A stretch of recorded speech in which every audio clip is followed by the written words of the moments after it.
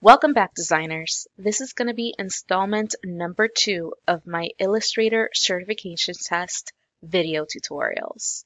In this tutorial, I'm going over several of the multiple choice questions you may expect to see on the 2023 version of the Adobe Illustrator test.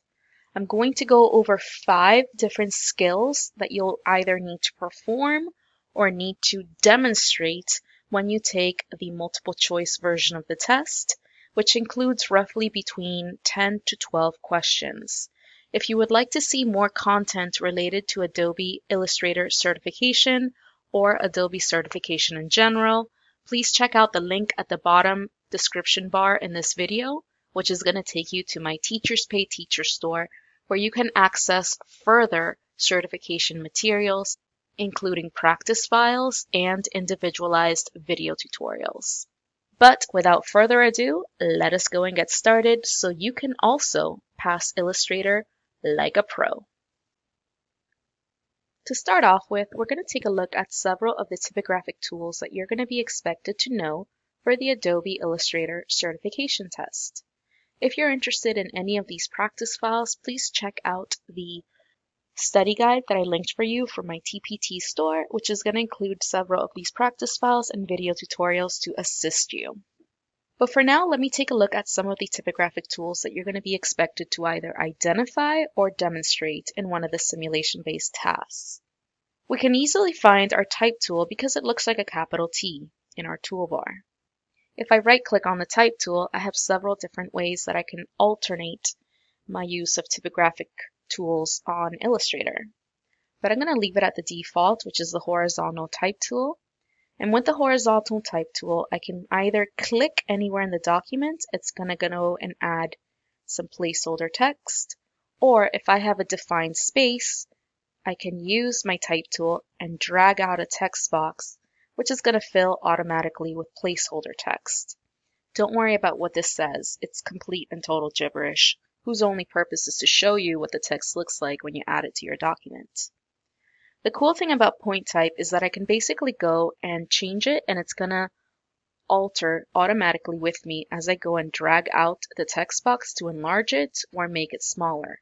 So you can see that I'm going and making this text box into a tight column and you can see how all of the take all of the text inside the text box is adjusted automatically so I don't have to go in and adjust any of the flow of the text. It does it automatically for me. Yes, there's going to be a little reminder down here that the text is overset, meaning that some of the text is cut off. But for the purposes of the certification test, you will not be asked to edit any overset text. In addition to working with point text, you may also be asked to work with area text. What this means is that instead of going and dragging out a text box, which is usually rectangular in nature, you're going to be asked to input text inside of a shape similar to this hexagon. In order to look for area type, I'm going to click on the three little dots at the bottom of my toolbar. I'm going to go under Type, and I'm going to select Area Type, which is the second from the left. This will allow me to place text inside of a given shape. I'm going to make sure that the shape is selected first. Then, using area type, I'm going to go and drag my cursor to the edge of the shape. And when I click on the edge of the shape, you guys are going to see that the entire shape of the hexagon is going to be filled with text. The actual fill of the hexagon is no longer visible because it's really, literally only a container for the text itself. We can try that as well with a different shape. So I'm going to create an ellipse. With the ellipse selected, I'm going right back down to the bottom of the toolbar, selecting those three dots, using area type, and then I'm going to drag my cursor with the area type tool to the edge of the ellipse, click, and it's going to fill automatically with placeholder text in the shape of a circle. So that is area type for you. You will also be asked to demonstrate knowledge of type on a path, both in the multiple choice and in the simulation-based questions. Type on a path means that the type is going to go along the length of a line or a curve. So as you can see, I made this zigzag and I want a line of text to go along the length of the zigzag. I can right click on my type tool, select type on a path, drag it to the edge of this path, click, and as you can see, all of the placeholder text is going to go along with the edges of this line. Lastly, you're going to be asked to demonstrate the use of text wrap, both in the multiple choice and in the simulation-based part of the test. Text wrap means that you're basically taking the text and wrapping it around some kind of shape or image. So as you can see, this flower is right on top of the text, but I want the text to flow around the flower, similar to what you might see in a storybook. So I'm actually going to go and use my selection tool so I can drag a marquee over both the text and the flower. And I know they're both selected because they have these blue bounding boxes around them. And to show you text wrap, I'm going to go to the object menu, scroll all the way down, select text wrap and make, click OK, and you guys will see that now the text is positioned beautifully around the flower and leaving enough space so that it doesn't look crowded. It looks kind of like the intro to a storybook. So these are just four of the different multiple choice questions that you guys may expect to see. It's either going to ask you to define either of these typographic tools or show you an image of them and you're going to have to figure out which of these tools was used to create the sample image shown on the test. On the Illustrator certification test, you're also going to be asked to demonstrate knowledge of different drawing tools within Illustrator. So we're going to be taking a look at three distinct tools that you're going to be asked to identify in the multiple choice part of the test. The first is going to be the pen tool. I'm going to zoom in on the very first artboard here so we can talk about different things that you can do with the pen tool. The pen tool is going to be the third from the top in our Essentials workspace. And with our pen tool, we can create open paths similar to this zigzag that I made up here and closed paths like this arrow down here. To create an open path, all you have to do is set the fill to none. And I'm just going to increase the stroke size to about four points so that it's visible. And we can just click and start plotting anchor points that are going to connect automatically with line segments anywhere that I drag on this artboard. In order to close my path, I have to click escape. And it's going to exist as an open path all of its own. To create a closed path, similar to this arrow, you have to click to create your first anchor point, drag, keep dragging, and then connect the anchor points with the very first point that you started by clicking it and it's going to exist as a shape of its own, which you're able to then fill with any one given color. In order to edit any one given shape or any one open path, you need to use the Direct Selection tool. The Direct Selection tool is the second from the top of your, of your toolbar in the Essentials workspace. The Direct Selection tool looks like a white arrow. And with the Direct Selection tool, you can basically click on any one of the anchor points in the path and you can adjust them by making them maybe closer, dragging them out to make them more elongated, or you can even go and make the corners rounded. So as you can see, this is a very sharp angular corner. If I actually go and click on the widget, this little circle right next to the anchor point, I can actually go and make that corner entirely rounded and make that look a little bit more like a heart. If I want to go and make that more extreme, I can double click on this anchor point and drag to make the angles a little bit more pointed and a little more dramatic. So the direct selection tool is basically going to enable us to edit either of the anchor points on an open or closed path, as we see fit. You'll also be asked to identify what the Add Anchor Point tool does. This one is going to be a little bit hidden on our Essentials workspace, so to find it, you have to click on the three little dots at the bottom of the toolbar, go under Drawing, and it's going to look like a pen tool with a plus sign next to it. The Add Anchor Point tool, just like the name implies, allows us to add anchor points. So if I wanted to have another anchor right about over here, I can click with the Add Anchor Point tool. It adds an anchor point so that using my direct selection tool from earlier, I can go and edit out that shape and make it even more complex. So let's say I want to try the same thing with this side right here.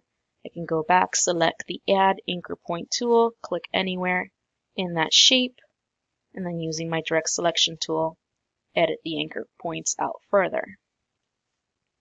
So in summary, you need to identify the pen tool. The pen tool is allowing us to create both shapes and open paths can also be used to create curves. The direct selection tool, which allows us to edit any of the anchor points we make with the pen tool. And the add anchor point tool, which will enable us to add even more anchor points to any one open and closed path so that we can further edit them as we see fit. One of the questions on the multiple choice part of the test is going to have you identify what formats are available when you try to export any illustration on Illustrator. So we're going to test that out now by going to File, Export, and Export As. From here we have several different raster formats or pixel-based formats that we can select from including PNG, BMP, and JPEG. If I wanted to print this file, I would want to select Adobe PDF. I could also edit this file further in Photoshop by exporting it as a Photoshop or PSD file. And if I wanted it to exist as a vector file, I could export it to an SVG format, in addition to multiple other formats available. So it's going to show you a drop-down menu of the different formatting options that are available when you try to export your file. Definitely keep in mind the different raster options such as, PNG and JPEG, in addition to printing options such as PDF and vector-based options such as SVG, in addition to Adobe-specific file such as PSD. One question specifically is going to ask you how you can print multiple artboards on one page. Illustrator famously allows you to create multiple artboards so that you can work on different parts of an illustration across different pages. But every now and then you may be asked to print multiple parts of the illustration on just one letter size page, for example. So let's test that out by going to File and Print. I have three artboards. If I want each part of the illustration on a separate page, then I would want to go and select Artboards All. And then page 1 is going to have Artboard 1, page 2 is going to have Artboard 2, and so forth. But if I want all the illustrations on one page, I would have to click the option that says Ignore Artboards. You're going to need to go and adjust the different parts of the illustration accordingly, but by selecting Ignore Artboards, then all parts of the illustration are going to print perfectly within one page. So when it asks you to identify which of these options you should select in order to print multiple artboards in one letter size page, you need to click where it says Ignore Artboards so that you can get full points. The last topic that we're going to be reviewing today is what options you would need to select when you're importing from Photoshop. So one of the questions on the multiple choice section of the test is going to ask you what options you would need to select if you were to import a PSD or Photoshop file into Illustrator and still make the layers editable.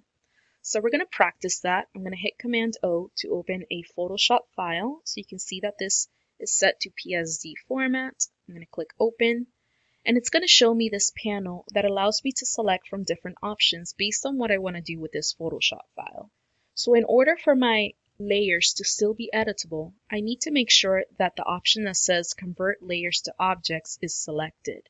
If I have the option that says flatten layers to a single image selected, the Photoshop layers will not be editable within Illustrator. It's going to show as just one flat raster image. If the test tells you what to do for hidden layers, then you want to make sure that you check off the little option that says import hidden layers so that even if the layers are temporarily hidden in Photoshop, you're still able to see them in Illustrator.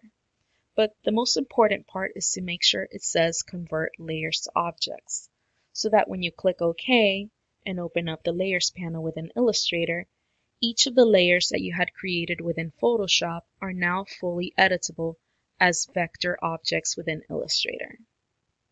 Well designers, we're at the end of the video. I hope you found those five different topics to help you pass the multiple choice part of the Adobe Illustrator certification test to be useful. If you would like to access the practice files as well as slightly more in-depth video tutorials for these topics as well as several others, I recommend that you check out my Teachers Pay Teacher store the name for which is Designed to Perfection. In this store, I have several Adobe Illustrator study guides in addition to study guides for several other Adobe certification tests, including Photoshop and InDesign.